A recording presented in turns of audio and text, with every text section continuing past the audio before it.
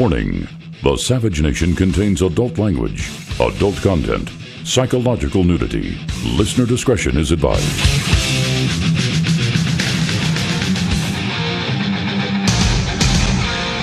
And now, America's most exciting radio talk show, The Savage Nation, home of unprotected talk, borders, language, culture. And here he is, Michael Savage. Love is overrated. We know that. You know, love is an invention of the 1500s. It's uh, from another time in history. Love is a fantasy. It's, it's an imaginary thing. Now, that has nothing to do with what I'm about to say, but I thought I'd attract your attention by talking about love because I just love the way this government refuses to invoke, uh, let us say, ID for voting. They say it's racist to require ID for voting, and we rely upon such intellectual giants uh, for that opinion as Al Sharpton, the street radical, Barack Obama, the community organizer, Eric Holder, the uh, superb and supreme Ayatollah of all laws, tell us that in order to vote in America, you need not have any ID. In fact, in order to have ID, if you have ID, you're actually un American. But how do they do it in Mexico? I mean, they bend over backwards to make sure that illegal aliens can vote in America, don't they? They want to make sure that every vote counts from an illegal alien from China or Mexico. So let's look at how voting in Mexico works. To vote in Mexico, every eligible Mexican has to have a tamper proof photo ID card with a thumbprint and an embossed hologram. I guess that's racist. Uh, hold it. To vote in Mexico, all citizens are required to personally enroll and show proof of birth or citizenship. I guess that's racist. To vote in Mexico, applicants are required to personally return to collect their voting credential. I guess that would be racist. And I would like to know is why we can't upgrade to Mexican voting standards without being called racist. Maybe it's because one potential party is dependent on voter fraud, the party of Jon Stewart and Bill Maher, the party of Al Sharpton and Barack Obama, the party that gave us the deaths and murders and everything else that we're seeing in this country, not tied to illegal aliens, of course. The party that refused to call, refuses to call Islamic extremism Islamic. You get the picture. I don't have to fill in the details. The same party is pushing climate psychosis. Jerry Brown, who pushed through a railway to nowhere at the cost of billions of dollars, a scam beyond scams. Uh, a high speed rail in the middle of the most fertile farmland in the world, in the middle of California, was pushed through by Jerry Brown, and he's concerned about climate change. The same Jerry Brown who is meeting the Pope, hobnobbing with the Pope, flying there, of course, not on a banana skin, uh, but on a jet plane. See, everything is good for them and everything is bad for the rest of us. He gave a speech at the Vatican, Jerry Brown did, saying that we're talking about extinction. This is beyond comprehension. And of course, the Pope is another liar about the climate. I know you don't want to believe men can lie who are wrapped in the holy cloth of the Holy See, but he's a liar. The Pope is a bona fide liar, a bona fide Marxist. Governor Brown is a bona fide liar, a bona fide Marxist. He gave a speech at the Vatican that I'm going to play for you that your hair will stand up when you listen to it, especially especially when you realize he's building a railway to nowhere that costs billions of dollars. And by the way, if you're a fan of television and you watch the series I like a lot called True Detective, it's about a politician who was behind a railway in the middle of the farmland of California around which fortunes will be made in California all over again by buying up parcels of land where the railway is going to go before it's built. Now, what is this? Is this uh, art imitating life, or was it life imitating art, or is it Jerry Brown is one of the most well, let it go at that. What do I have to characterize him as? We know what he is. He's a double talking phony. I mean, one day we'll be able to go to a museum in the middle of the desert, someone wrote, and look at liberals and dinosaurs at the same time. Both will be extinct, and both will be a classical case of studying.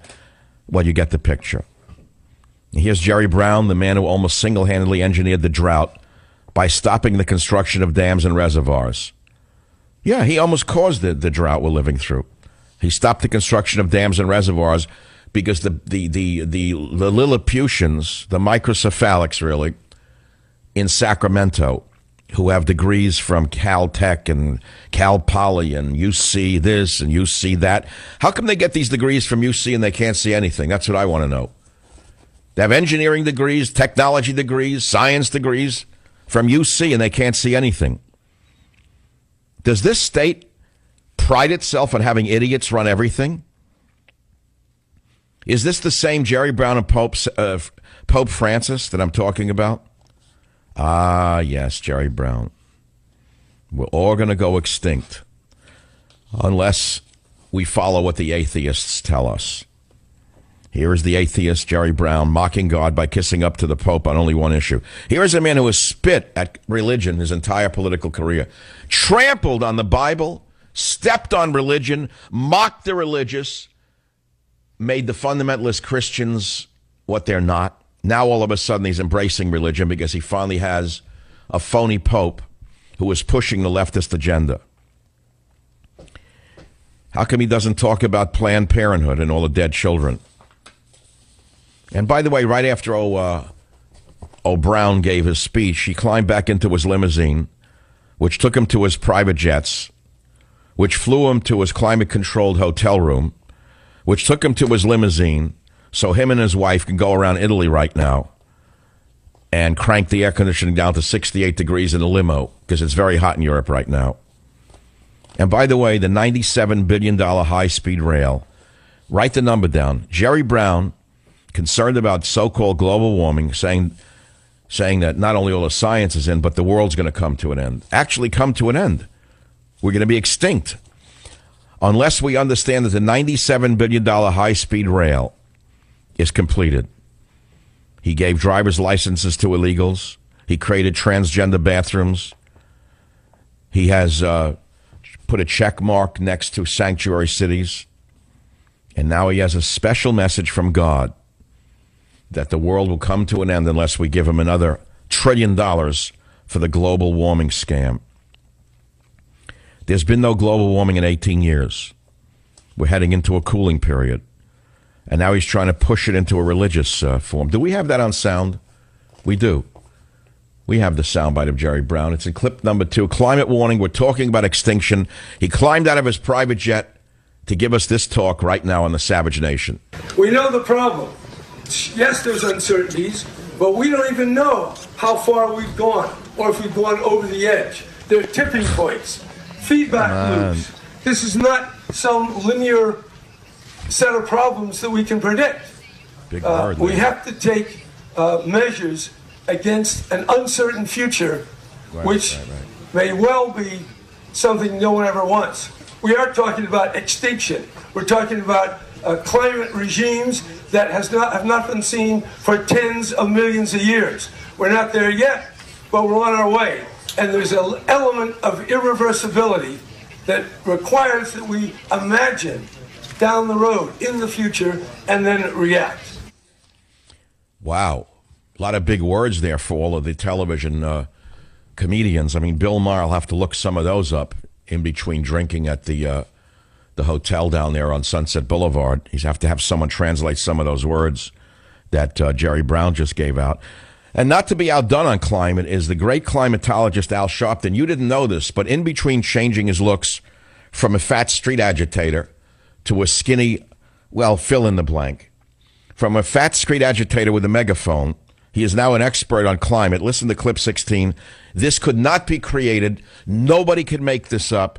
It is not created by the savage nation. I want you to listen to how far the world has fallen that a man of such low education and such low appeal would be invited into the White House a hundred times tells you only one thing. Birds of a feather flock together. Listen to old Al Sharpton on climate. For me and many of the champions that you will see today, it is an issue of justice and it is an issue of human rights. Uh, African Americans are at a higher Ooh. risk Ooh. of being uh, close or predisposed to areas of, of carbon uh, as well as other poisonous pollution in the air. and we have a disproportionate interest because oh, we suffer disproportionately. Oh, my God. If this kid was in my seventh grade science class, when I was teaching seventh grade science, I would leave him back and say that, look, he has to go back to the first grade because he can't compose an entire sentence. We can't push him to the eighth grade because he'll be an embarrassment to himself the rest of his life. Instead, he was pushed forward to the point where he's so smart on issues of science and engineering that Barack Obama invited him into the White House to advise him on science and engineering. All right. That's the opening to the show, 855 400 7282. And for those of you who need a little bit more uh, reality about the friendly Muslims amongst us in our midst, let's listen to a moderate cleric who once was in charge of Boston mosques, who 10 years ago tried to warn the government about a radical shift at two of these mosques he led for decades, and what the radicals in his mosque did to him he was thrown out by a local doctor, and his son joined ISIS. Did you hear what I just said? And the federal government, under George Bush, refused to act against the radicalization going on in that mosque in Boston, just as today they refused to say, under the Obama administration, that Islam is connected to terrorism. If radical Muslims are being supported by a radical government, while even moderate Muslims are trying to sound the alarm bell, we are all in danger. And oh, by the way, remember those Marines who were killed in the distant past of last week at a recruiting center and the one sailor killed by a Muslim? Remember that? You know why they were killed, don't you? Because Bill Clinton took away their weapons. Bill Clinton disarmed all of the military personnel uh, on bases around America. It's an old story that I broke years ago, by the way. And you want to hear the upshot of that? Members of militias are now, armed members of militias are now guarding recruiting centers in some southern states because this failed, rotten, stinking government will not protect our own military men at recruiting centers. Armed citizens are sitting outside on lawn chairs to do the job this rotten, stinking, corrupt communist government will not do to protect our military. That is how far we have fallen under the community organizer who is working around the clock to disassociate America from its greatness. I'll be right back. I'm Michael Savage. Join the Savage Nation. Call now 855 400 Savage. 855 400 7282. Savage. My Savage Nation is sponsored by SwissAmerica.com, the only company I trust to protect my wealth with gold and silver. Call 800 B U I C O I N. This song does not apply to Barack Obama. I made up my mind. He is the former, not the latter. Now, why do I say he's acting like the devil? This is not a matter of uh, opinion anymore.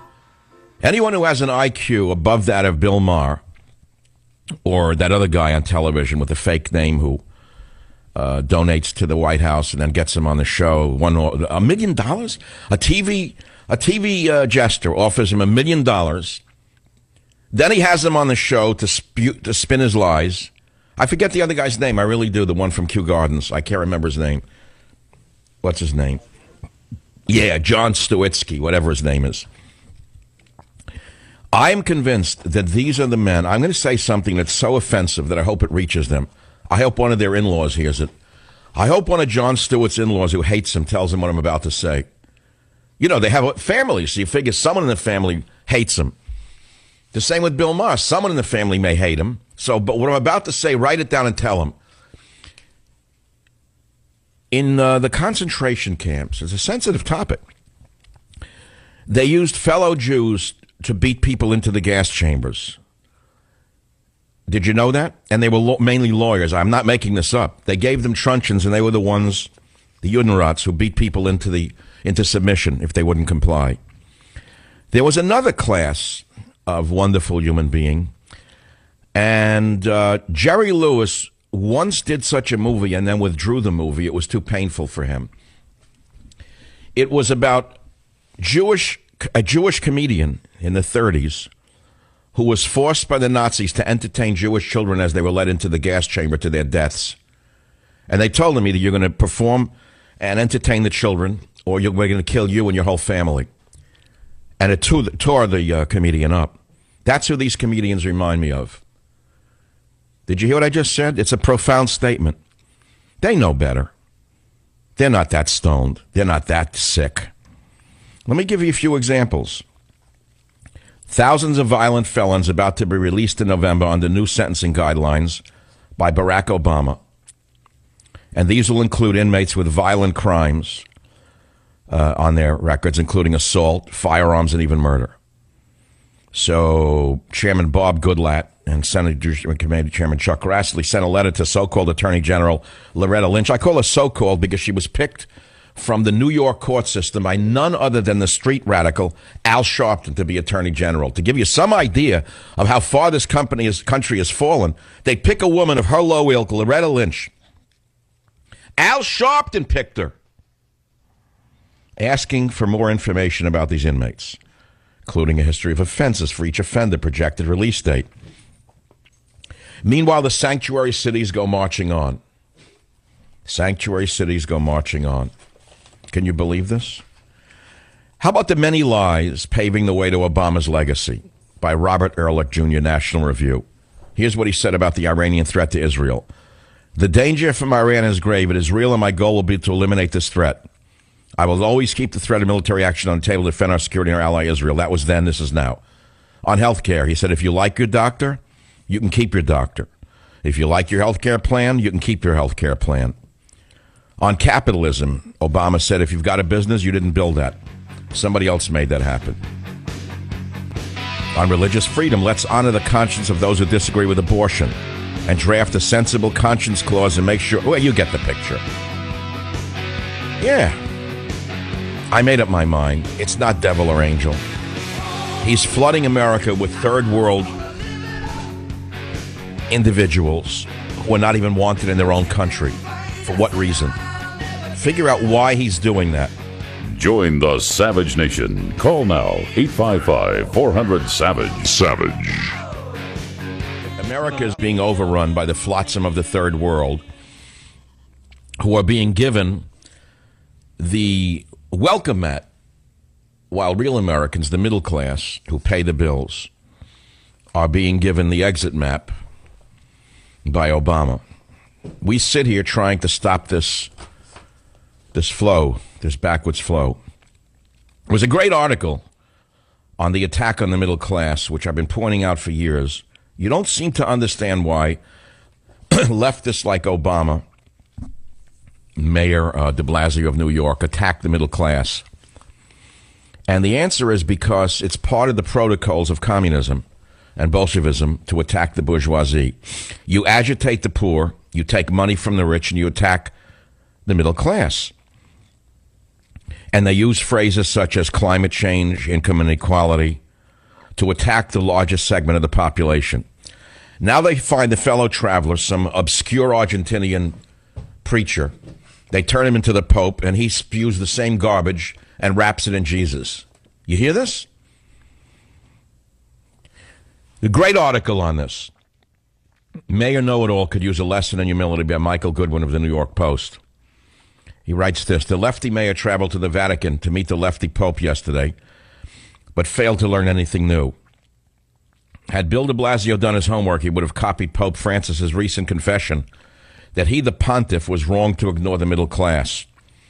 Asked during his down with capitalism trip to Latin America why he rarely speaks about the working, tax paying middle class, the Pope reflected a humility that would be shocking if it came from Mayor Know It All. You're right, Francis admitted. It's an error of mine not to think about this. Bill de Blasio, he writes, pay attention. Instead, the mayor is so hell bent on treating and beating to death the income inequality, climate change spiel, that he forgets the middle class is in the middle for a reason. It's the largest segment of the population. The Pope noticed that the middle is shrinking. And perhaps one day he'll also come to realize that the progressive policies he and de Blasio and Obama, for that matter, are a big reason why. Soak the rich nostrums, coupled with invitations for the poor to sign up for permanent government dependency, hurt everyone except the ruling class. Do you understand who the middle class is? That's you. You're an investor. You believe that you will gain benefits by working hard and delaying gratification. Doesn't matter what your race is. You're practicing the Protestant work ethic. which formed the backbone of American capitalism. Michael Goodwin writes The middle class works for a living, pays its own way, and raises children to be good students and law abiding citizens. The middle class make good neighbors and stable communities and struggle up life's hills without undue complaints or demands for the fruit of others' labor. Naturally, de Blasio and Obama and Jerry Brown ignores them when he isn't undermining them. They are irrelevant to his vision or their vision, where government commands the heights and presides over redistribution schemes that, despite good intentions, never lift the poor. As historian Fred Siegel says, liberals want to deregulate morals and regulate everything else. That's why they demonize cops. That's why they order cops to cut down on aggressive policing. That's why they force schools to stop suspending disruptive students based on race. And then they take bad behavior and they endorse it as normal. While those of you who raise children to behave normally start to wonder why you're playing by the rules. That's what's going, that's what's going on in America right now. And it's not a joke. It's a very serious problem that we're having. So what do you think is Obama's motive? Why does he why does he so intently after he's gotten every one of his uh, he's got his whole list basically except seizing guns. There's almost nothing left for him to do. Let's see. Gay marriage, check. Socialized medicine, check. Spying on citizens without retribution, check. Uh, uh, using the IRS to attack political opponents, check. Neutralizing the Republican Party, check. Putting fear in the hearts of all citizens in America while liberating the Iranians to develop a nuclear weapon, check. Spitting on Israel, check. Marginalizing the Jewish vote in America by making a mockery of the Jewish vote in America, which was once staunchly in favor of Israel's survival, still collecting a fortune from AIPAC, still collecting a fortune from Jewish donors while attacking the sacred cow of Jewish voters called Israel. No one else could have achieved this other than Barry from Honolulu. Nobody could have done this, and yet he did it and he won't stop. Why is he doing it? Let's take some calls on that great question. Mike on WBAP in Dallas. Why is he doing this? Uh, it's it's hate filled uh, retribution, and hate consumes ultimately. It knows no end. Uh, nothing is going to. Wait, wait. Well, let, let me be clear. What I'm asking here. You mean Obama has a hatred for America? Absolutely, absolutely, and everything American. That's what. Well, why? Why? His mother was from America. His father is funny. His father was from Kenya. His adopted father was from Indonesia. They were both Muslims, but the mother was American. Why does he hate America? Uh, for the obvious reasons for Americanism, for capitalism, for uh, culturalism. yeah, but wait a minute. He, he goes to L.A. and New York, wherever he goes. He only associates with associates with billionaires. He goes to the homes of the richest people in the world to shake them down for money. So how does that jive with his hatred for capitalism? Hypocrite. He's a hate filled hypocrite. Absolutely. Yes. Absolutely. And he well, it's like it's like Jerry Brown hypocrite. Hypocrite flies to Italy, goes in an uh, air conditioned limo, air conditioned hotel, and lectures about the end of the world from climate change. And he believes in his dogma. That's the other thing. He believes in what he's doing. He doesn't doubt himself. He doesn't doubt his motivations. He doesn't doubt uh, the, the end result as being just and in his mind what ought to occur. He has no doubt. That's why he doesn't falter in any of his motivational and, and any of his moves. He falters never. Like, so why is he why is he such a true believer? How has doubt not crept into his mind when doubt enters all reasonable men's minds? You know, even Albert Einstein, one of the greatest geniuses of all time, said that he took the opposite opinion of all of his theories and tried to prove them correct in order to prove his theory correct. Why doesn't Obama take that approach? There's an answer say, to that because he's about the most insecure hater in the history of the presidency.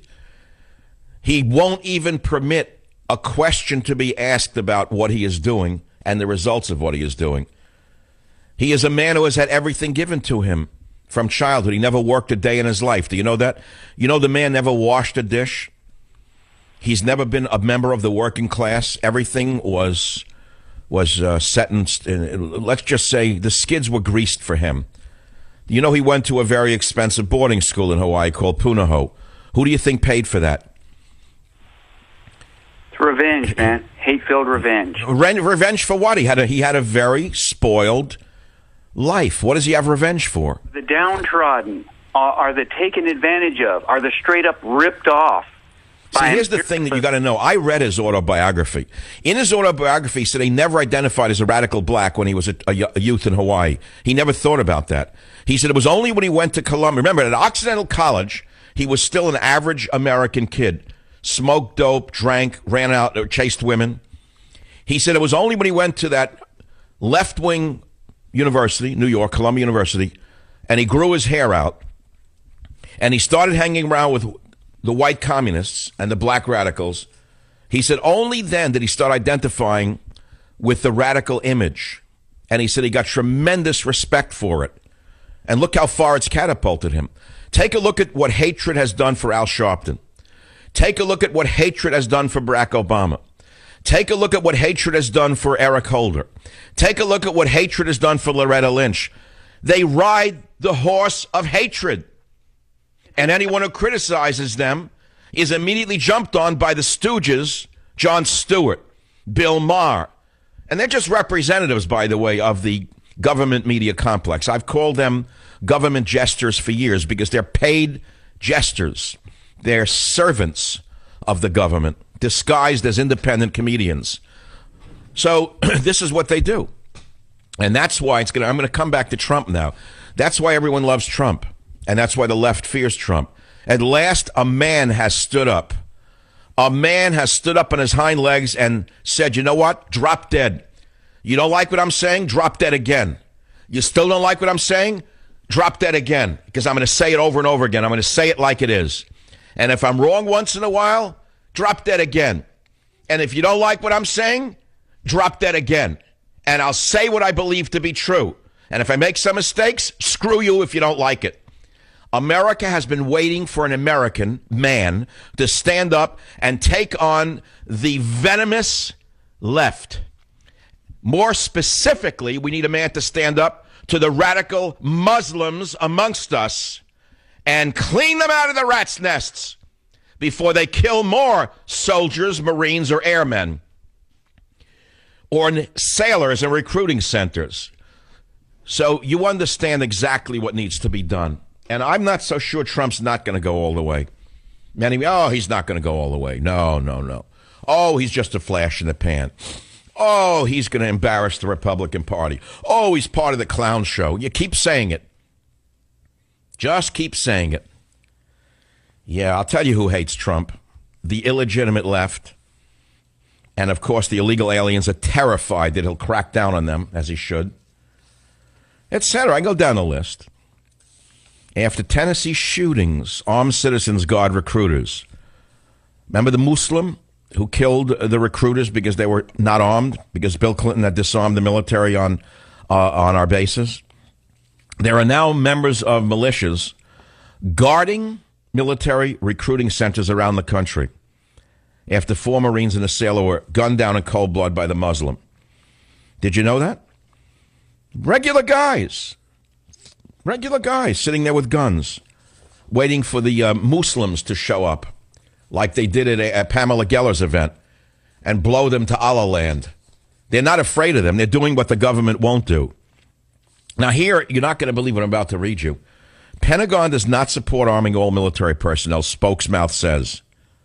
Speaking to reporters Wednesday, Department of Defense spokesmouth Captain Jeff Davis reiterated the existing department policy of not supporting arming all military personnel.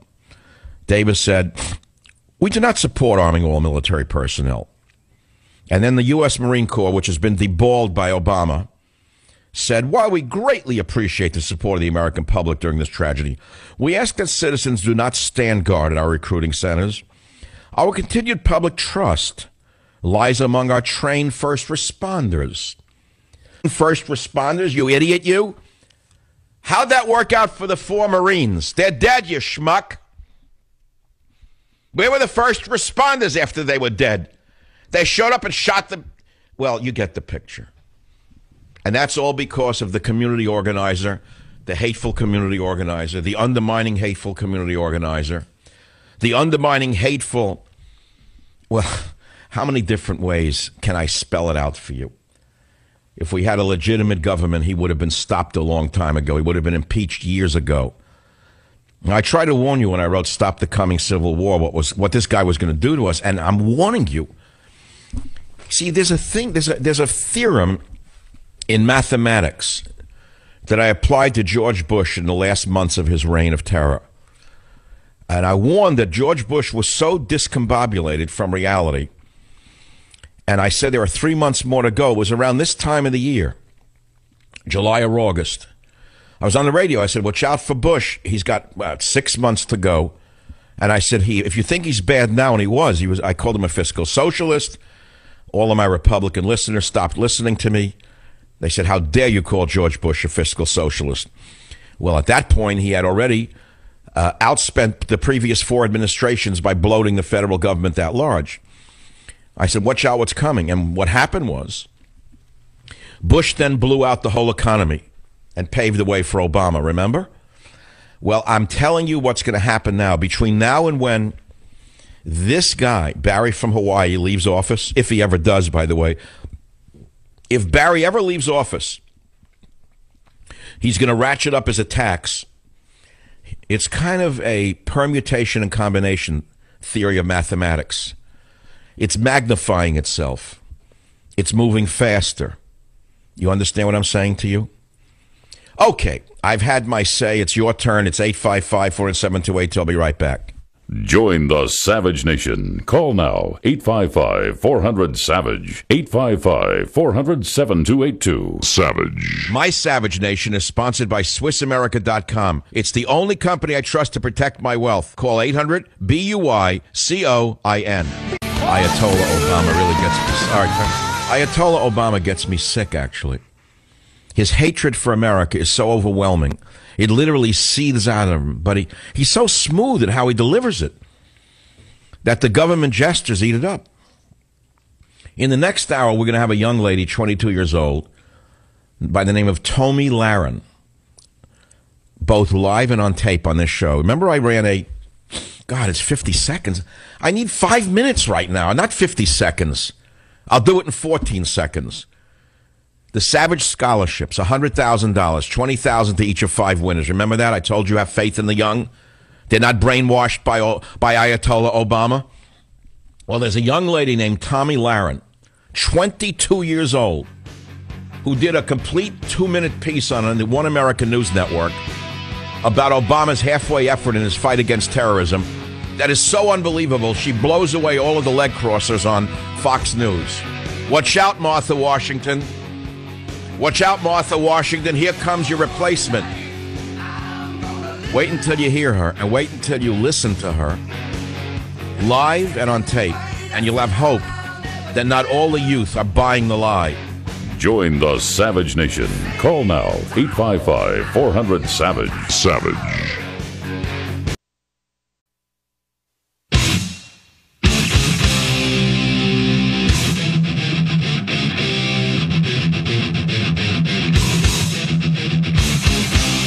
Warning The Savage Nation contains adult language, adult content, psychological nudity. Listener discretion is advised.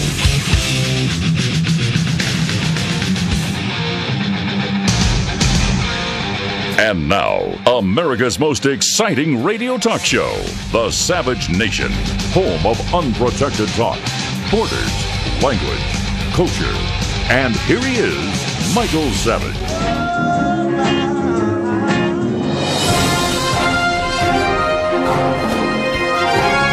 Take time out from uh, the rock and roll to hit you between the legs. Ayatollah Obama has just put out a missive saying he plans more executive orders on immigration. You heard me. He just said he's going to put out more executive orders to flood America with more third worlders. Proposed rule expands number of illegal aliens allowed to stay in the country. It came out minutes before the show started on freebeacon.com by Elizabeth Harrington. It's on the top of the Drudge Report. Ayatollah Obama is moving forward with plans to expand the waiver program that will allow additional illegal aliens to remain in the country rather than apply for legal status from abroad.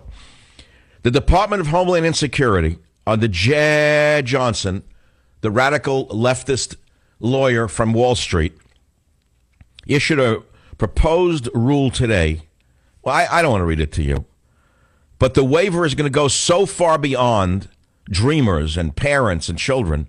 You're not going to believe the other categories of illegals beyond those with citizen spouses and parents that Ayatollah Obama is going to permit to soil our nation.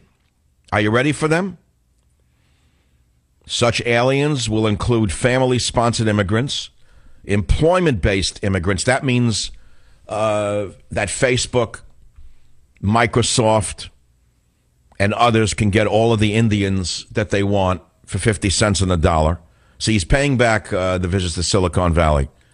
Certain special immigrants, I don't know who these be, maybe drug dealers who pay enough money. Wait, it gets better. And diversity visa program selectees. That means no white men. What does a diversity visa program mean? Anyone but a white man, anyone but a European. Together with their derivative spouses and children. That will allow the illegal aliens that he's picking to stay in the nation while they wait visas and blah, blah, blah, blah, blah. No opposition from the Republicans, none. Can you believe this? Can you believe what he's doing before the election and why he's doing it? Why is he doing this? Why is he doing this to the United States of America? There's one reason. There's only one reason for it. Well, there's actually a few reasons. One is psychological, one is political, uh, and one is financial. Let's start with the financial reasons that he's doubling down on amnesty. In the spite of the, the number of people killed by illegal aliens. Do I have to name them? You heard the heartbreaking testimony yesterday before Congress of people whose children have been mutilated and murdered by illegal aliens. Didn't make it to the uh, to the uh, to the television.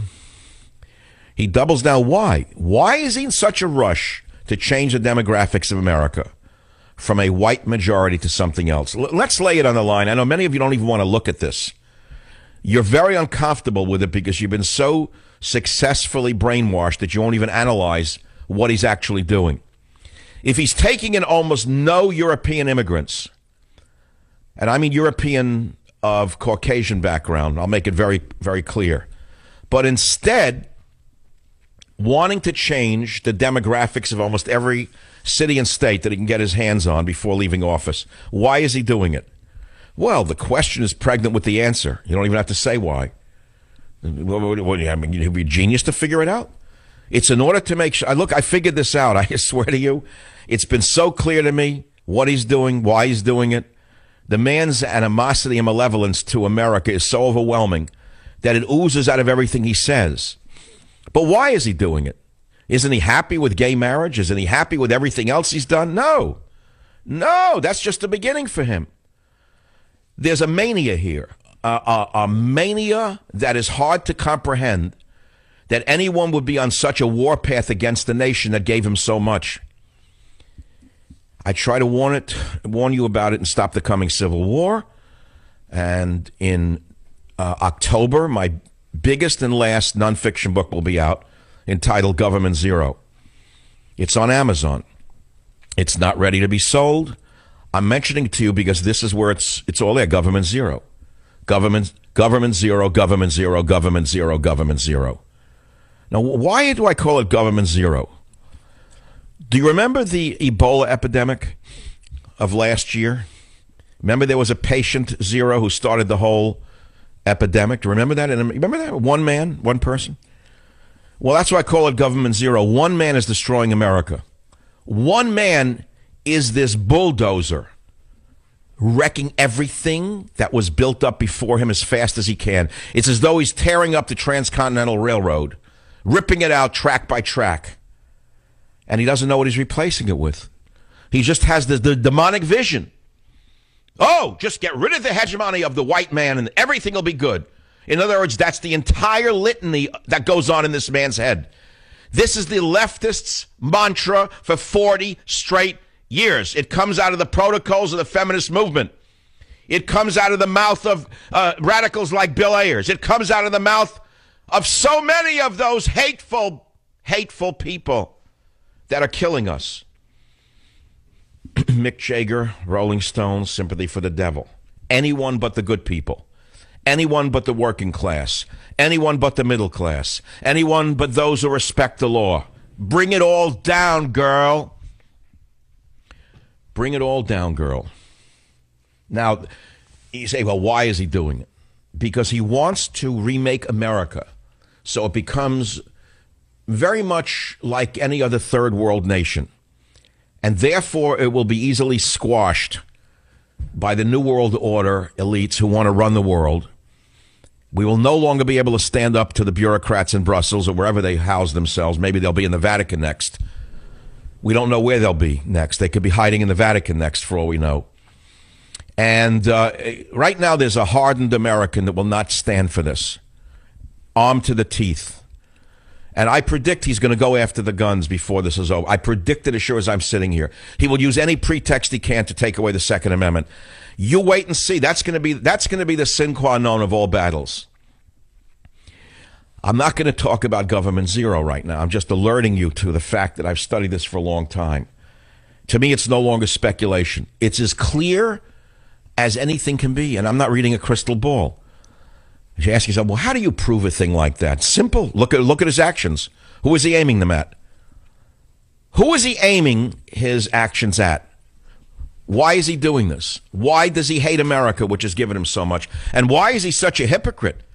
Why does his wife have such hypocrisy that she travels the world on shopping trips and then lectures us about the evils of America? Why does she go all over the world uh, and talk about girls and women and this and that, goes to a Muslim school in London, and it says, I see myself in you. What is she talking about? What are they after here? It reminds me of the New Yorker cartoon that appeared in 2008, and it caused a lot of embarrassment for the New Yorker magazine. Their front cover, I'll never forget it as long as I live. They were running for office, the Obamas were. And uh, there was a cartoon on the cover of the New Yorker that showed Michelle Obama with a bandolier of ammunition over her, uh, looking like Angela Davis, and they cart- the cartoonist made Obama look like one of the '60s radicals, Stokely Carmichael, one of them. I don't know who. And they, they meant to be sarcastic. They were saying this is how the, the average white American sees them. Unfortunately for them, it was it was so it's so predictive. It's frightening. It's as though Angela Davis and Stokely Carmichael are in the White House. There's no difference in the policies we're seeing and that of the Black Panther Party of the 60s, by the way. You're saying, well, it's not, can't be a duplicate. Of course not. This is a big nation. You can't bring it down in only seven years or six years, whatever it's been under this reign of terror. After all, there's still people and there's still a Congress you have to play with. The media has been in his pocket a long time. We don't have to go down that one. So, you know, he's got a lot of work left. A lot of work to bring it all down, man. If it feels good, do it in the road. Why not do it in the road? So, look, I don't want to turn this into only about him. I think what I want to do is talk about the fact that I'm not alone. If I was alone in my viewpoint, I would have been off the air a long time ago. Say, hey, he's crazy, he's a kook. That's what they're saying about Trump. For 21 years, I have put up with that, that garbage that I'm not part of the mainstream. I don't know what I'm talking about. I'm a hater. I'm a racist. I heard it all. I had the Dreamers boycotting a station of mine in San Francisco because I stood up to the rabble. I've had it, 21 years of it. Everyone in radio has had it. I've had it more than others. Now Trump stands up to the mob. He's getting it. But the people know what's going on. Say, well, you're alone. No, we're not alone. We're the majority. We're actually the majority. We are the majority, which is why Obama's working so hard to change that. Do you get it? He knows what the majority is and what it wants. You think he's stupid? You think the sorority are, are idiotic? The sorority knows what we the people are, what we're made of, and what we want. That's why the sorority is flooding America with third world flotsam as fast as they can. That's why devils like those in Silicon Valley will throw IT workers in the gutter to bring in Indians who work for half the wages and call it diversity. Do you understand the greed and the insanity of these people? There are parallels in human history. of what is going on with regard to the demographic shift that Obama is single handedly causing through his insane immigration policies. But they've only occurred after a nation had been conquered in war and flooded with the conquering army. Write that down. Because the only time in history this has ever happened before is after a nation had been overrun, uh, conquered militarily and overrun, and then the demographics changed. Did you know that? No nation on earth permits this. How about the diverse nation of China? Are they permitting a flood of third world immigrants into China? Where would that be? They're a member of uh, the the selected minority esteemed in uh, the leftist uh, books, aren't they? The Chinese are superior to us in every way. How come they don't have diversity? Well, how about Japan? Aren't they on the list of approved minorities to the radical left? How does Japan deal with immigration? Or let's not go further than Mexico. How are they doing on that diversity in Mexico? You know what they do to people from Guatemala who sneak in? Have you looked into what they do to people from El Salvador who sneak in? Have you looked at what they do to people from the Honduras who sneak in? Have you seen how they treat diversity in Mexico? We're the only moronic nation made of marshmallows. I'll be right back. Join the Savage Nation. Call now 855 400 Savage. 855 400 7282. Savage. The Savage Nation is sponsored by Swiss America, the only company I trust with my financial future. Call 800 289 2646 or SwissAmerica.com. Four United States Marines are now dead. Climate change didn't kill them. Lack of free community college didn't kill them. The income gap, wage inequality, nope, not those things either. Gay marriage, nope. Oh, white racism, not that either. So what did? President Obama, if you won't say it, I will. Radical Islam. This is not workplace violence. This is not a criminal act with motives unknown. This is terrorism. The suspected shooter, Mohammed Abdulaziz, a devout Muslim. Do I care that he seemed like an all American young man? Do I care that he was good at mixed martial arts or a smart, quiet guy? Do I care that his high school friends wouldn't classify him as overly religious? No, I don't give a flying you know what about any of that. Was he linked to ISIS or Al Qaeda or Hamas or any of the other 15 plus offshoot terrorist groups? doesn't matter? I'm sorry, but radical Islam is becoming the rule, not the exception. Yesterday's moderate is today's terrorist. All right, you're listening to a 22 year old young lady named Tomi Lahren, and she has a, a little TV show from San Diego at One American News Network. 22 years old. She created a new breed of political talk. 22 years old. And she comes from a military family. And she grew up in Rapid City, South Dakota. And she credits her love of politics to family dinners centered around the news of the day. And she's going to be with us soon after the bottom of the hour because I watched the video. I was stunned by it. She created this on her own. 22 years old. There's hope for America, believe me. She knows what's going on she's not alone. She's extremely articulate. And Martha Washington better watch her back. Martha better watch her back. 855 407 Larry on WABC. What's on your mind, Larry? Fire away. Oh, thanks, uh, Dr. Savage. Do you think reasonable Democrats, take a guy like Chuck Schumer, he's a reasonable guy. Do you think in his heart of hearts he's behind what you're just talking about now about you know immigration and so on. Could he really believe that this is a good thing?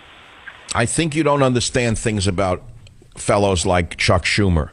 They're not reasonable. They're Machiavellian. They're in it only for one thing, and that's self-aggrandizement and power. They pretend that they're reasonable. Doesn't Obama pretend to be reasonable? Does he look like a flaming radical? Has he ever shown any examples of it in his persona or his delivery? Never. He never yells, he never screams, he never loses control. He's the most skilled performer in the history of radicalism, which is why he is where he is. And Schumer is simply in it for his own self aggrandizement.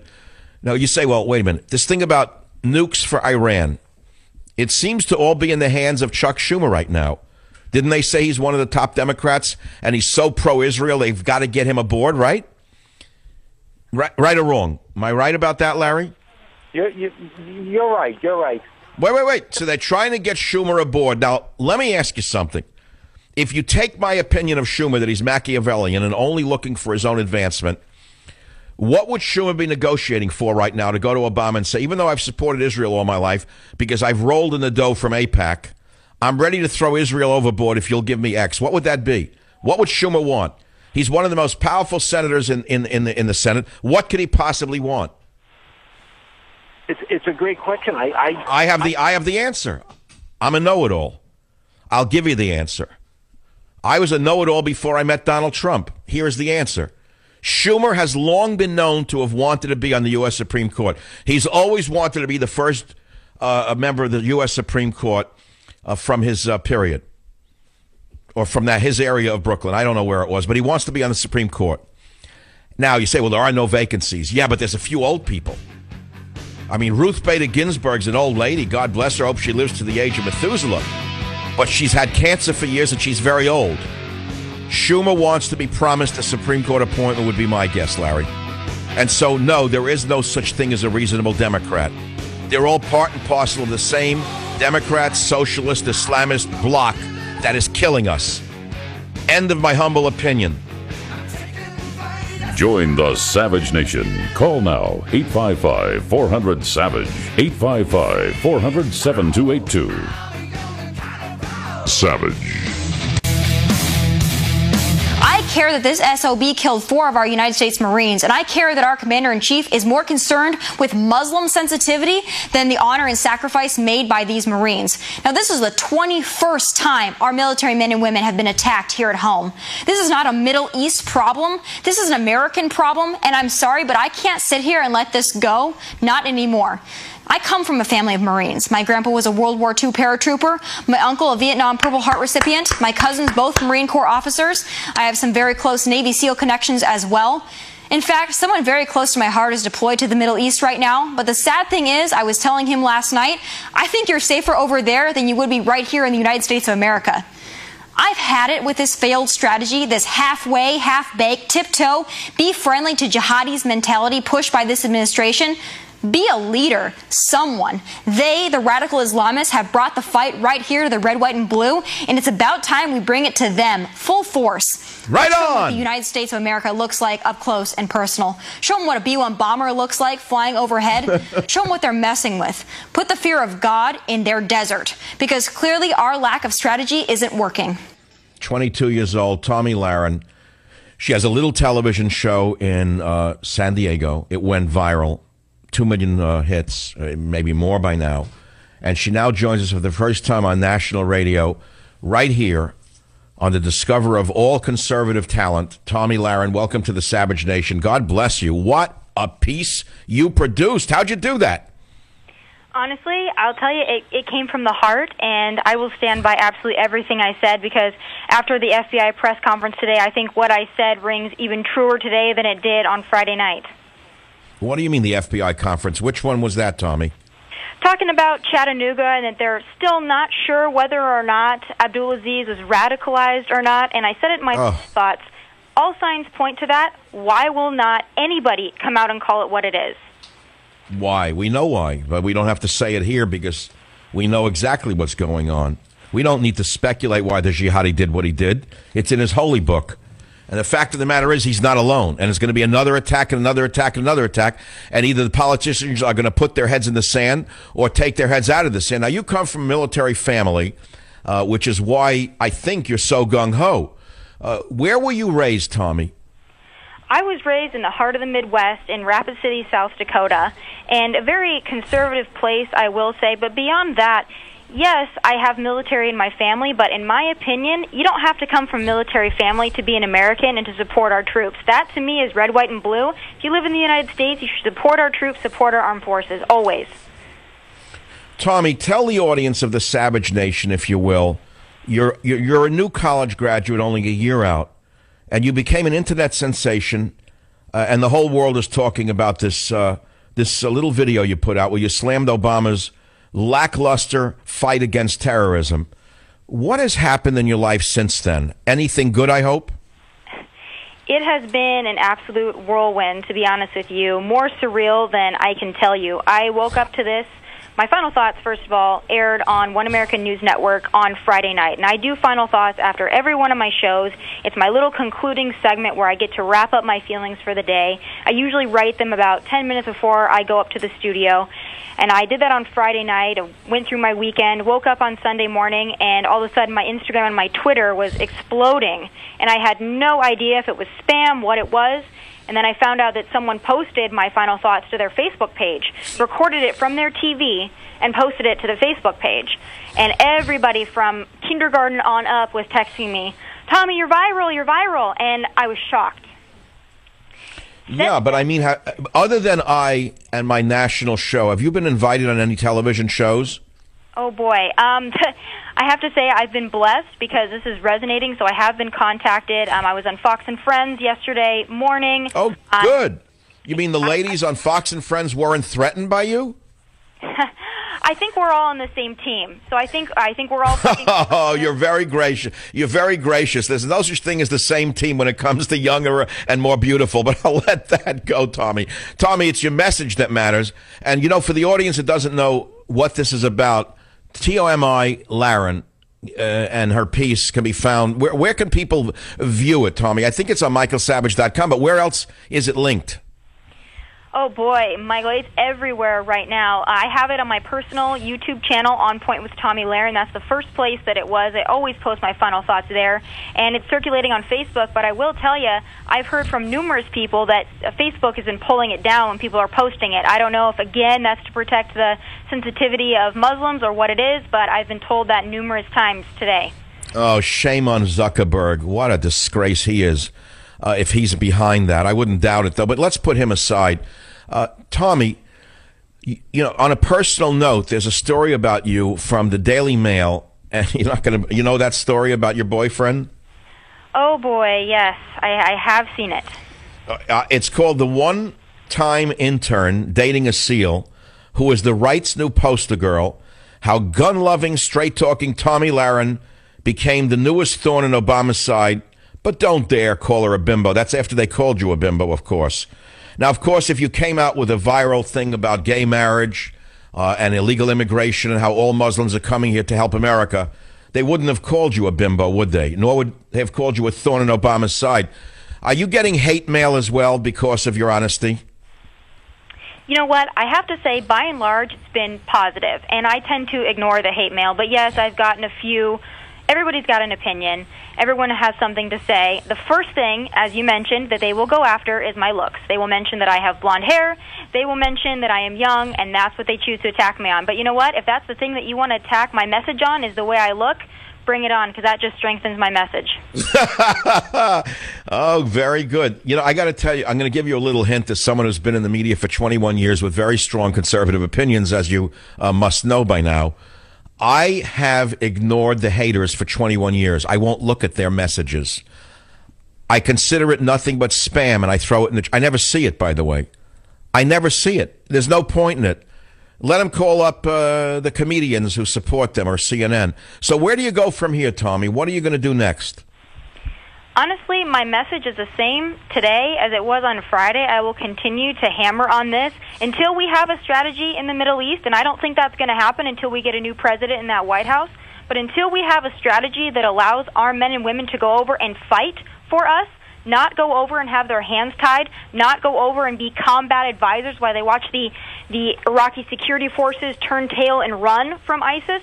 Until that day, I will continue to talk about this because it's from my heart. I'm passionate about it. It's genuine, and I'm not going to stop. Tomi, you said you come from a family of Marines.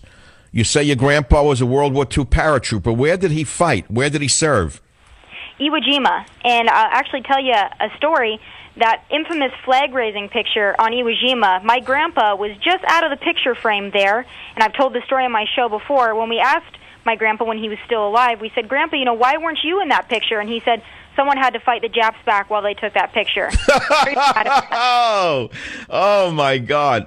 You you say also you have an uncle, a Vietnam Purple Heart recipient. Who is he? Where is he?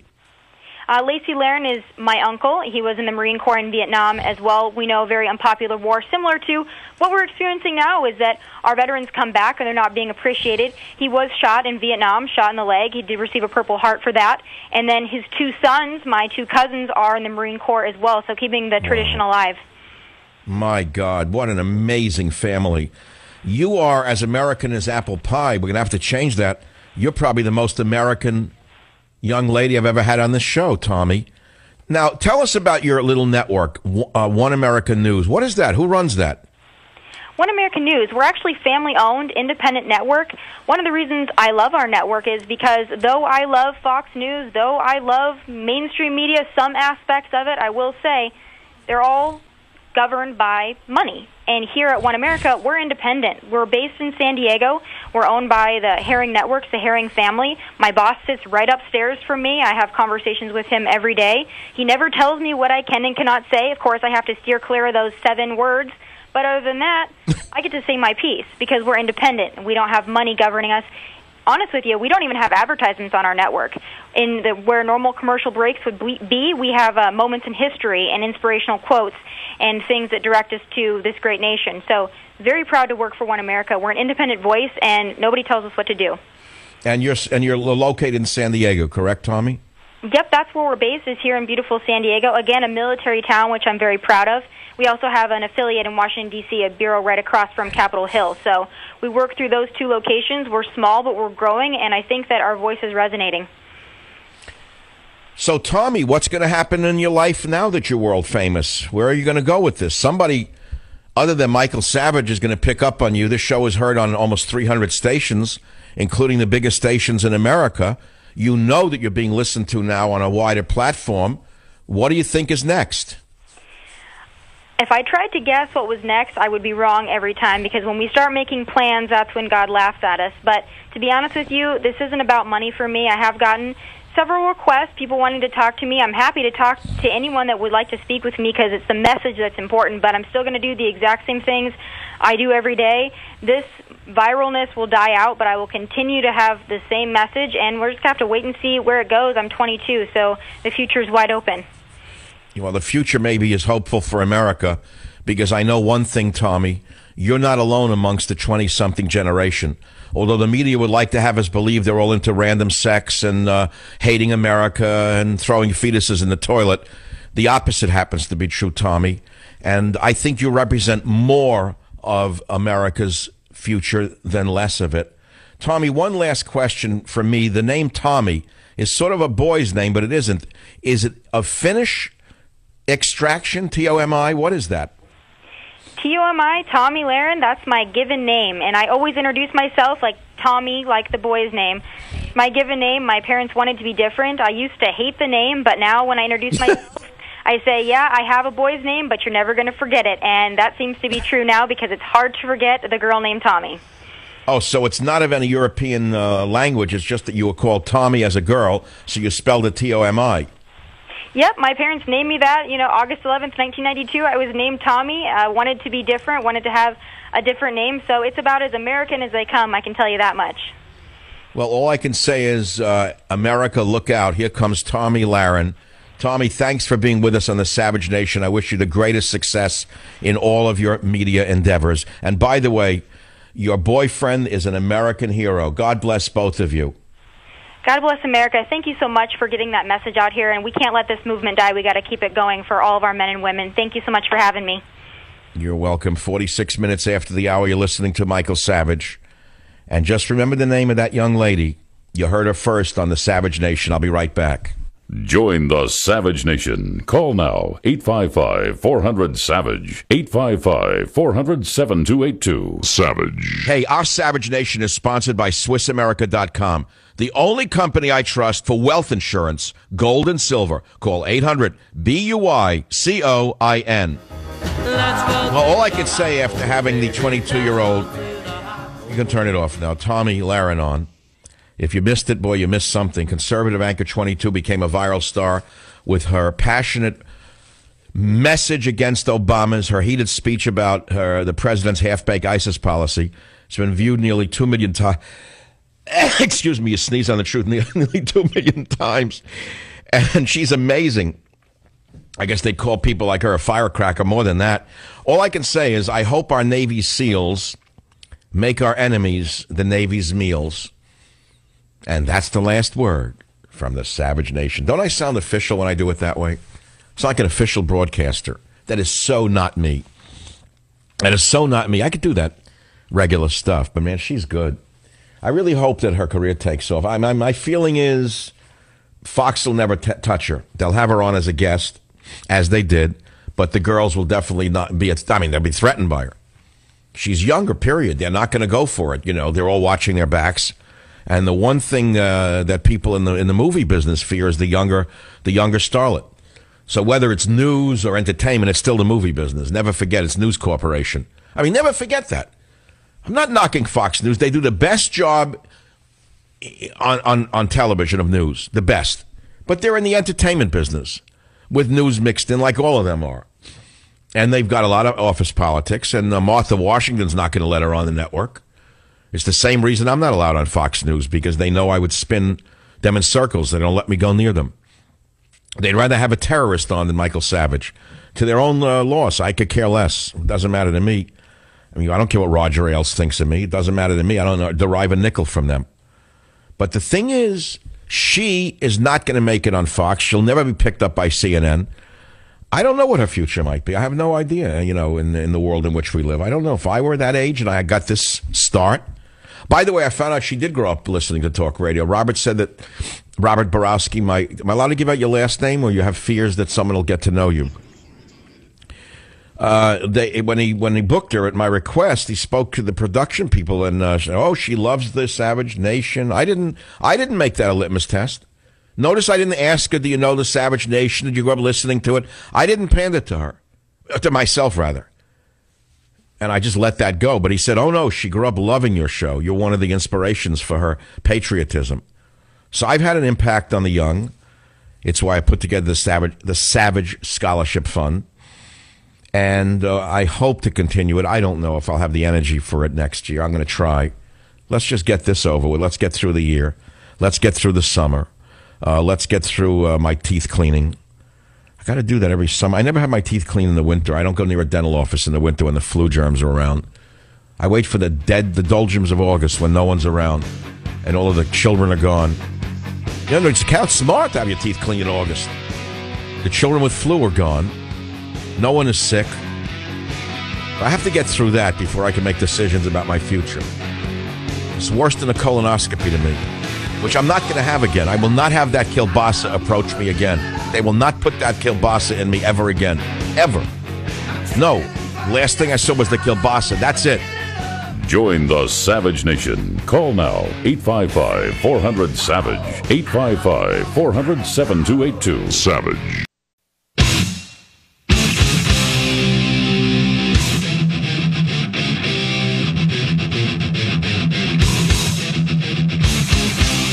Warning The Savage Nation contains adult language, adult content, psychological nudity. Listener discretion is advised.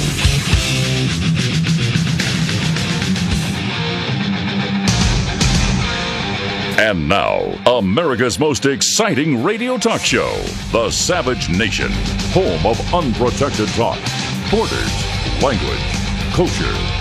And here he is, Michael Savage. Yeah, yeah, yeah, yeah, yeah. Crossing all the borders just to take their share. Well, I changed that line to crossing all the borders just to take our share. Welcome to the Savage Nation. And the news is so rotten that I had that young 22 year old conservative author on in the last hour, Tomi Lahren, who has her own little web TV show, one little show viewed over 2 million times. And she was something. I mean, when I said I learned your grandfather was a paratrooper, I said, where? And she said, well, in Iwo Jima. And then she said, I got an interesting story to tell you, which I never heard. I didn't read it anywhere because no one knows her. I mean, she's new. She said, well, when grandpa was alive, he said, I was just outside the frame of that famous Iwo Jima picture. So I said, Grandpa, why weren't you in the picture? And he said, well, someone had to fight the you-know-whats while they were taking a picture. Now, could you imagine having a grandfather like that? What a what an amazing American story. She's got to be on the FBI, CIA, DHS uh, watch list now. I'm convinced that uh, Jeh Johnson's put her on the watch list because any true American goes immediately on the uh, suspicion list, uh, along with all the U.S. Marines and Navy SEALs, being watched around the clock by our uh, intelligence uh, services. Obama said he didn't target the Tea Party. The VA has gotten better under him. Pathological liar. And uh, where would he choose to do it but Comedy Central? Only the stoners would find that funny. Then he uses that uh, the Judenrat, use the Judenrat show to go on. Would have ushered the children into the chambers. Yeah, all right. I, I don't want to get negative. I feel too good. I started out feeling awful today. Uh, by the way, you're listening to a radio show called The Savage Nation. It's national. It went viral 20 years ago. I, I love when they say went viral. That's like a new thing. Oh, it went viral. What does that mean? It means nothing. There's no no meaning to the it went viral. You don't make any money on that. Zero. How do you monetize it went viral? What, what do you put it on your wall? Listen, Mama, my YouTube of me getting undressed in the shower went viral. Three and a half million people watched it. And now, when are you going to get a job? So, but okay, in her case, a different story. I hope it leads to a career in the media. I, I would have her on as a fill in, but this is not easy to do. Impossible to do if you're 22. No one could fill in for me in that age bracket. Because radio's, you know, it's three hours. Think about that. 12 segments in three hours. That's four segments an hour of long periods of time that you have to do ex, extra, extemporaneous conversation with an audience you can't see. Not easy to do unless you have experience, a wide knowledge, you know what I'm saying, and a way to keep it going, sustaining, sustaining. And luckily for me, I started out bad today. I was really running hot Monday and Tuesday. I'm just doing a third hour thing. I'm warm up the third hour differently now. For those of you who stay with me the whole three hours, probably 12 people out of the millions who listen, stay with me the whole three hours. Are you a three hour listener? Is there anyone out there who listens to my whole three hours? I want to hear from you. Clear a little of the board off. I want to get the, the true believers to call. I mean, does anyone listen to the show anymore? Three full hours? You got one? Got a live one on the hook? No, not yet. It's too soon because it's a 30 second delay. I'm the only one in the media with such a long delay. Can you imagine? That's an indicator of how hot the show really is. In case I say something that I shouldn't say, which is all day long for three hours. Started out bad. Monday and Tuesday, I was hot as fire. I did great shows. Like yesterday was amazing, going from the, the rock and roll music to the Horst Wessel song to show you the connection between drug, sex, rock and roll, and where we're at. And then the abortion. I, I can't do the abortion thing. I get sick thinking of killing the babies and the infants. I can't do it. It makes me sad. I really can't take it. So I'll admit I had too many drinks last night from the depressing news I was dealing with. I had two drinks but I had Gilbey's vodka. I think that's what did it. I went to like the Cheesecake Factory. I never go in that place. They're so like not me. But I was walking around with the dog and it was hot. I just didn't want to face the rest of the night. I went in because they have a cheap uh, happy hour, like five bucks for this, five bucks for that, five dollar drinks. I all right, I'll go cheap. But I normally only I, call, I have a call vodka thing. I have call, I call for it, but it was like twelve dollars. This was five. I economize where I can. I'm not a poor man, but I'm frugal. I'm the frugal talker. That's what I am. And I got a hangover like you cannot believe. I had the appetizers disgusting. Horrible, man. It was like the Vietnamese spring rolls with that limpy paper wrapper that must have come out. I don't know how they made that thing. It, you know, I figured out it's not fried. I said to the girl, give me the one thing on the appetizer that's not fried. They gave me the Vietnamese spring rolls in some wheat jacket or rice paper jacket. I don't know what it was. It felt like it was parchment upon which uh, the, the Declaration of Independence was written and then rendered uh, moist again by being dipped in water. And I know it was no good because I gave the dog a piece of the jacket. You can't give him like appetizer food. I know that. You know, and there was no spice on it because I cleansed it in a glass of water. I gave it to Teddy because he was begging from the bottom of the stool. Another reason I don't like the place is you're on a stool, you're too high up. It gives you a, a distorted sense of reality. I like to sit on a, like a chair when I'm drinking and eating, where I'm only two, three feet off the floor. Because as you drink, your perceptions change anyway. So if you're like four feet off the floor, you feel like you're in a parachute looking down after a while. And the dog's down there and he's small to begin with. He disappeared altogether. Sitting there giving me the eyes. How could I resist? I gave him the jacket, threw up in the morning on a nice rug. A puker. And I didn't like I mean, it's like horrible. You know what that's like six o'clock in the morning when the sun comes through the curtains? and the first thing you have to do is clean up a dog vomit on a beautiful carpet, a hand woven carpet from, I think, Mexico or Guatemala or Honduras. It was awful. That was the first thing. I got mad at him. Then I didn't get mad at him. I said, I'm sorry, people get sick too. Go, do your thing. I put him outside in the grass. He looked at me like I was crazy. Like, what are you, nuts? I already threw up. What do I have to go outside for? I already did what I wanted to do on your carpet. He wouldn't even go on the. You ever do that with a dog? They're, they're really weird dogs. Like after they do something in the house, they go, get out, man. Go on the grass and do it. And they roll over in the wet grass and look at you with the feet up like in submission. I didn't mean it. Let me back in the house. Please, I hate the cold. I hate the wet. I don't want to be out here. So I picked the poor guy up and put him back on his bed. And uh, he was good the rest of the day. And no, I did not give him any of the other areas he hears me. He's very sensitive. Teddy, we're not joking about you. I gave none of the Chinese, but I feel great right now because I had a Chinese lunch or two delivered hot.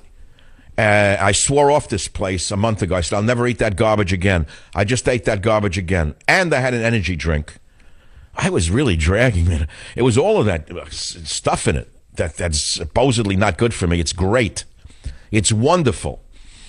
I feel terrific. Look at look at how good I'm doing. Third hour, the third hour flying along. Here we are talking about Ayatollah Obama's uh, actions, his latest actions, doubling down on illegal aliens coming in.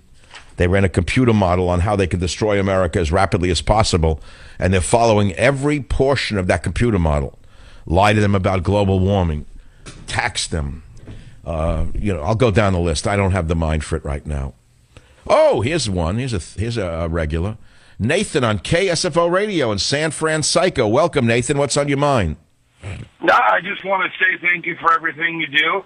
Believe it or not, I'm one of these weird people. I sell meat door to door. I've done it for 20 years. I've done it all over the western United States, and I find you wherever you're at on the radio, and you are on nonstop. I got my wife that listens to you every day. She's a chef, and you're absolutely the most amazing person. And just to speak to you is the biggest pleasure I think I've ever had in my life. To be oh, come on, Nathan. What do you mean you deliver meat door to door? How does that work? I go up to people's doors. I have a truck with a little freezer in the back. I, I have awesome steaks, and I go up there and say, "Hey, sorry to bother you. I just missed." Wow. I mean, so you actually have to go sell it like that, right? There's no advance sale. I support four little kids. I've never gotten no assistance from no one. I do it all myself every day. I knock on a new door. And what kind of meat is it? Beef? Yeah, all big steak, chicken, seafood, pork, you name it, everything. What? What's the name of your company? I'll give you a plug for nothing. I, I work for myself. I'm an independent. I'm kind of like a rogue. That's why I love you so much. I Yeah, but Nathan, hold on. I, I'm going to do this for you. I got nothing in this. No skin in the game. You're in the San Francisco area. What's the name of your company? Throw it out there. I'm in Sacramento, and I work for a company called The Butcher Shop. Good. Okay, all your listeners out there, in addition to all my regular sponsors, I want you to buy meat from the butcher shop. you know, I was once a, Nathan. I was once a, a meat delivery boy. Have you heard me talk about that? I've heard you talk about everything under the sun, Mike. I really have. I, I enjoy it. My wife is a chef. My wife actually made it on this last season of Master Chef. She was the first one kicked off, Jill Campbell, and she was Whoa. amazing. Amazing if you watch Master. So you're a you're a real American working family, and you know what uh, Ayatollah Obama is trying to do to this country. You don't, you don't even get me started. I, I wouldn't even. I could sit here all day, and I'm not an intelligent person I, at all. I'm one of these guys that grew up, barely got through school, wanted to surf, be stoned. But I will say this: I'm more intelligent than all these kids that go to school nowadays that have that go to college. Listen, don't confuse intelligence with don't confuse intelligence with brainwashing, uh, Nathan. You are an intelligent man. You're just not formally educated. So, Nathan, I'm going to send you a book for the summer reading when you get to go to uh, Cannes, France, on your vacation along with uh, John Kerry and Barack Obama. It's Countdown to Mecca. You can read it on the beach uh, in uh, in Nice. Stay on the line, Nathan. That's a three-hour listener. WBAP, Dallas, Texas. Trent, you're next up. What's on your mind, Trent? What's uh, what's what's happening there, Trent? Let me tell you, man, I listen to you three hours a day, and by the time I, get home, I'm ready to fire missiles at my wife. to, to her chagrin. Wait, wait, wait, wait. Hold it. That went that went over my head. You listen to me for three hours, and you get home. You're ready to fire what at your wife? I'm locked and loaded with so much information that I'm blowing my my my, my wife. I, I got scared. I thought it was a dirt. I thought it was sort of a, you know, a uh, little uh, blue remark there. I couldn't follow it for a minute. Fire missiles at your wife. I mean, what was that like? Something I'd never heard when I was a kid. Uh, you know, you know, just, just that I'm over overwhelmed with all the information that I learned during. Ah, thank God, that was close. that was close. No, So, so is your wife a conservative like yourself in Dallas or a lib? That's a good question. That's she is she is a fiscal conservative, but she is uh, liberal with her uh, her views. Social, social, right? That that's very common in America. yeah, yeah. and it's it's why it's why conservatives shouldn't get into the social issues, even though that's the uh, the crux of conservatism in many ways. Many people say, "Well, I'm a fiscal conservative, but I don't want the uh, right wingers telling me what I can do with my body," and there's nothing you can do about that. Nothing. us going. And, and I suggest if you don't want to sleep on the couch, Trent, you uh, you know, you toe the line there. Thanks for listening on BAP. I can't believe the time is racing by here. This is horrendous. How could it be 19 minutes after the hour already? And how could I be in the third hour of a day I didn't think I could get through the show? I swear to God, I was in the shower before the show. I go to the. I, I have a lot of home studios. I told you that. And uh, I now take. I, I used to take showers just before the show to run water on my head and my body, certain areas that. And I ran the water on my head. I said I can't do the show today. I just don't feel good. In the old days, I would have called in and thrown in a towel had a fill-in host. I had a rule: if you don't feel 100, percent don't do the show. You'll make a mistake and regret it. But I don't do that anymore. I go on like a trooper. I do the show. I do the show. I do the show. I do it like an immigrant just off the boat. And so I ran the water, I ran the water, I ran the water. I did what I used to do when I was a young weightlifter go from hot to cold. You start with a hot shower on the head, on the back of the head, the areas you don't want to talk about on radio. You singe them, and then you turn on the cold, slowly cold, till it's freezing. It worked somewhat. It wasn't until I had the bad Chinese food and the energy drink. Uh, and then I took, I made a little error. I did something I did in the 70s when I was writing nutrition books. I was feeling so good, I went and took a mega dose of B vitamins, like a B complex of 75. It's coming up. I can't stand the taste. It's all a yeast in there. It's disgusting. That's the one thing I did wrong. I'll be right back. Join the Savage Nation. Call now 855 400 Savage. 855 400 7282. Savage. Your Savage Nation is sponsored by SwissAmerica.com. It's the only company I trust for tangible assets, gold and silver. Call 800 B U I C O I N. Rock and Roll Wednesday on the Savage Nation. We're playing a few tunes for you here, right up until the uh, end of this hour when the show is taken over by an unknown. Actually, I'm finished and I don't know what to do with myself. I only have 30 more minutes of broadcast time. I could be on three more hours. This is not good. Welcome to the show. If you've been listening to the show for 15, 20 years, you know what I'm into. Uh, up and down, my emotions change. In other words, I'm an average human being like you. Oh, no, I'm supposed to be like one feeling the whole day.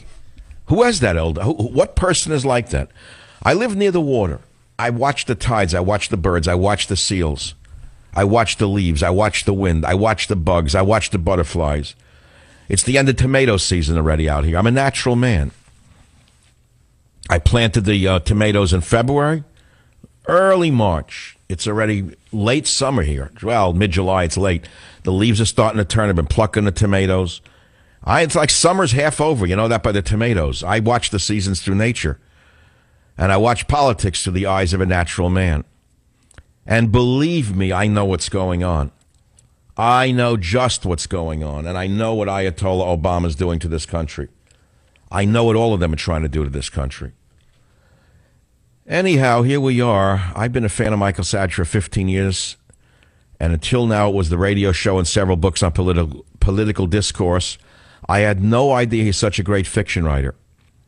Even though this book, Countdown to Mecca, has its roots in reality and current day events, he wove an excellent story in which I had no trouble visualizing the venues and characters, especially the dangers of radical Islam.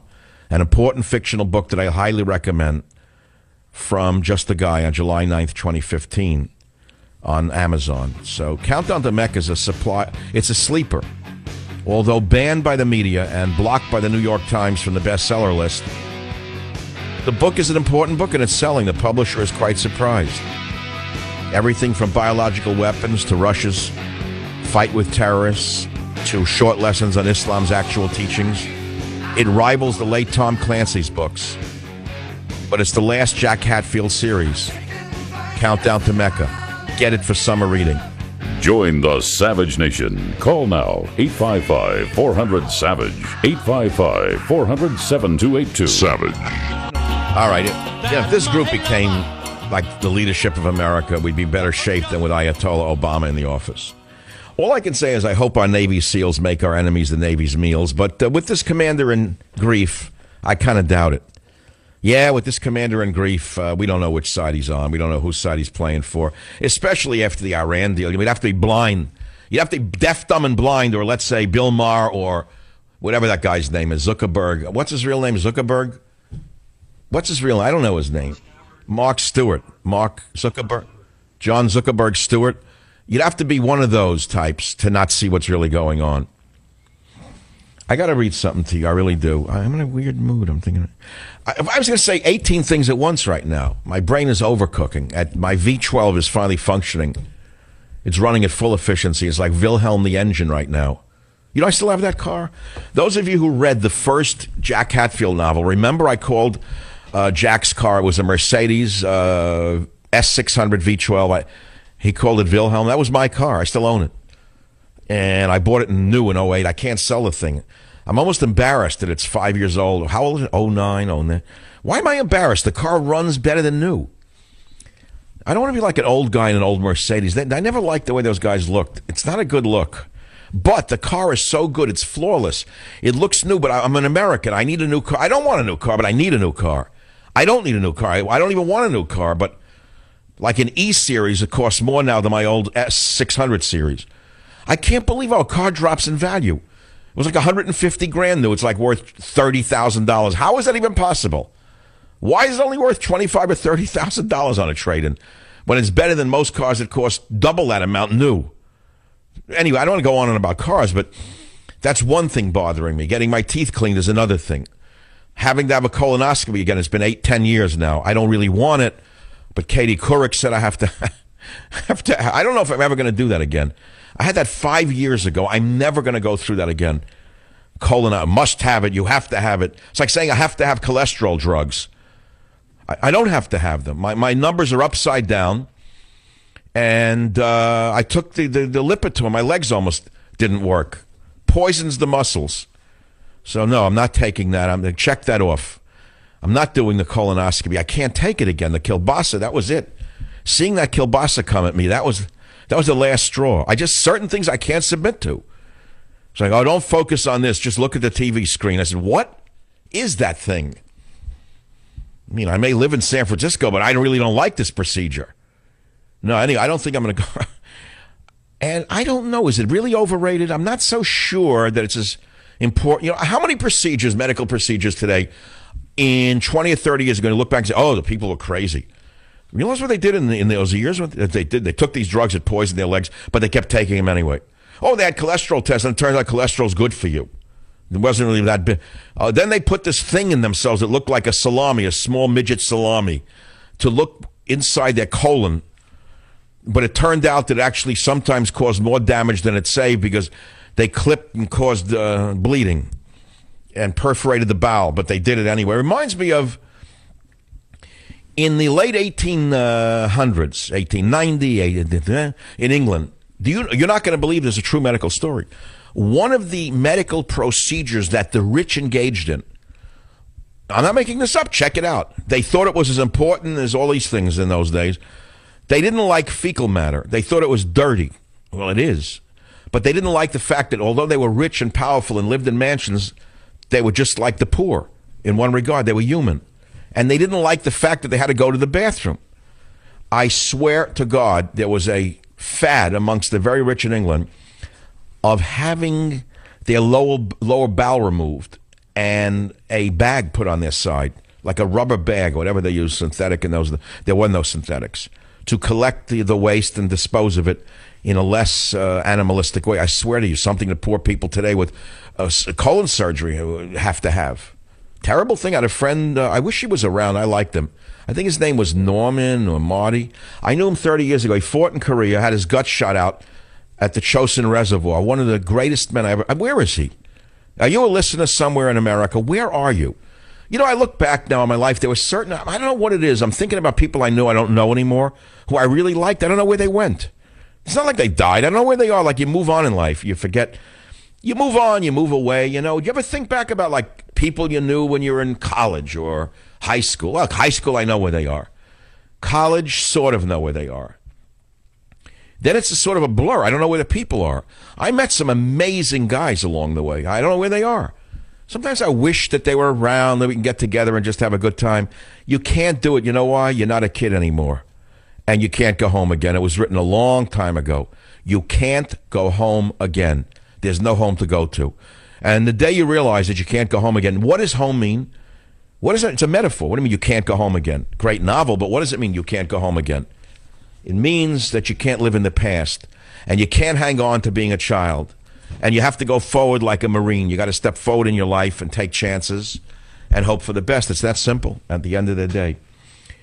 So I was looking through a passage in Countdown to Mecca and I'm looking what people like, which character they like. You know who they like the most? My new character, Saul Minsky, the Jewish gangster, who turns out to be more patriotic than most of our governmental uh, uh, uh, service members today. And so in the book, Countdown to Mecca, I have a paragraph I want to read to you, one of the dialogues. The upper echelons of the United States military, from the president down through the entire general staff, had forgotten their collective duty. They had grown soft and indecisive in their misguided desire for peace at any cost, satisfied to let the tide of Islam slowly envelop the world. How many Middle Eastern governments would have to fall to Muslim extremists before America's leaders woke up and realized the folly of their peaceful ambitions? First, the Egyptian government had been overthrown and taken over by Hamas. Then Gaddafi was deposed with the help of American air support, only to see Al Qaeda move in and set up house. And now it looked as though Syria would be the next to fall. Ashlock believed that something bold and decisive had to be done to cauterize the growing malignancy of Islam. And since no one in the upper echelons of any Western government possessed the resolve to take this decisive action, it appeared that he would have to do it for them. This is the plot, the essence of the plot. These are the generals plotting this evil thing that Jack tries to stop. It's all in Countdown to Mecca. It's a sleeper. The book is continuing to sell, and I hope you'll check it out. I really do. People really like uh, Countdown to Mecca. You know, the publisher wants me to do the next one. I don't want to do a fourth. I can't do it. I got you. Got to play a piece of Tomi for everyone. The young lady I had on in the last hour, in case you missed it, Tomi Lahren. You have the beginning of it. I just caught him napping there behind. I, I run these guys so hard, it's frightening. One is napping, the other one is a, no. They're since I got Skype, they can't get away with it anymore. In the old days, I had no idea what the producer and the call screener was doing. Now I see their every move. The camera's right. it's like Big Brother. I feel like the NSA looking in on them in Dallas. Robert, drink that energy drink right now and find that piece for me on Tomi uh, Lahren. I want to play it right now. You found Four it? You're United States Marines are now dead. Climate change didn't kill them. Lack of free community college didn't kill them. The income gap, wage inequality, nope, not those things either. Gay marriage, nope. Oh, white racism, not that either. So what did? President Obama, if you won't say it, I will. Radical Islam. This is not workplace violence. This is not a criminal act with motives unknown. This is terrorism. The suspected shooter, Mohammed Abdulazeez, a devout Muslim. Do I care that he seemed like an all American young man? Do I care that he was good at mixed martial arts or a smart, quiet guy? Do I care that his high school friends wouldn't classify him as overly religious? No, I don't give a flying you know what about any of that. Was he linked to ISIS or Al Qaeda or Hamas or any of the other 15 plus offshoot terrorist groups? Does it matter? I'm sorry, but radical Islam is becoming the rule, not the exception. Yesterday's moderate is today's terrorist. I care that this SOB killed four of our United States Marines, and I care that our commander in chief is more concerned with Muslim sensitivity than the honor and sacrifice made by these Marines. Now, this is the 21st time our military men and women have been attacked here at home. This is not a Middle East problem. This is an American problem, hmm. and I'm sorry, but I can't sit here and let this go. Not anymore. I come from a family of Marines. My grandpa was a World War II paratrooper. My uncle, a Vietnam Purple Heart recipient. My cousins, both Marine Corps officers. I have some very close Navy SEAL connections let's pause as well. right there. That's the young In lady, fact- 22 years old, Tomi Lahren, who I had on the show. Uh, and it's amazing. I mean, she did this on her own, a little TV show she has in uh, San Diego. I'm not doing this for any reason other than I tell you, I, I have hope that I saw with the scholarship fund, the patriotic essays I got on what it means to be an American. Here's a 22 year old young lady. She's not alone. I want, if you're young, for you to understand you're not alone.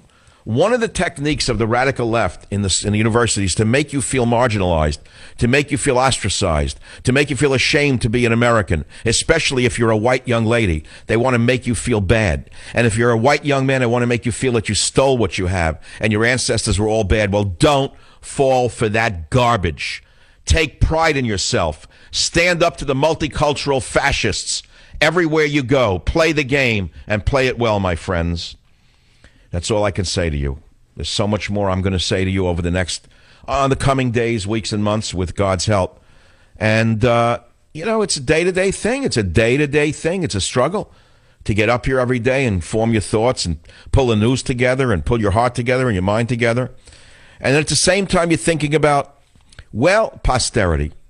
What am I going to leave behind? Well, a lot of recordings, a lot of YouTubes, journals, books. What does it really matter? Does anyone remember the past?